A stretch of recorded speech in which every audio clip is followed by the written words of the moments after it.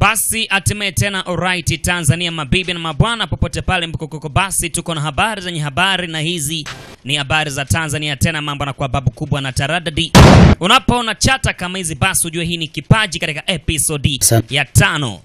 Mambo anakuwa safi kabisa. tukiwa na mwamba mwite Shalo Balo wa Njombe akizindua moja kati ya filamu yake makini kabisa yapa Huku. ni kipaji, na ni episodi ya tano Ayman. lakini ikumbuke ni tarehe 31 mwezi wa 12 2024, manake ni siku ambayo tunakwenda kumaliza mwaka wetu, ndipo tunapokwenda kuzindua filamu matata kabisa. Kipaji Dugu. ni episodi ya tano, lakini basi kumbukeni, kiingilio ni shilingi elfu kumi lakini VIP ni shilingi elfu ishirini Ukumi ni Business Hotel, ndiko ambako takweko Wata- na ni kuanzia saa moja kamili jioni mpaka mwisho wa sherehe.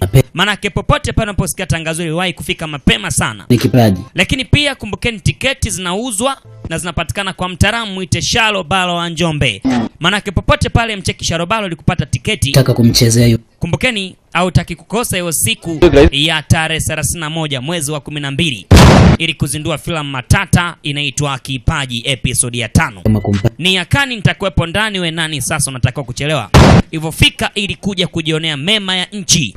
Ni yakani pia nitakuwa niko live, manake hakuna kinachoribika, nikwambie tu save tarehe 31 mwezi wa 12, mambo yanakuwa safi, yani tunakwenda kumaanisha namna hii. Kugundua kuwa mimi ni mtoto haramu.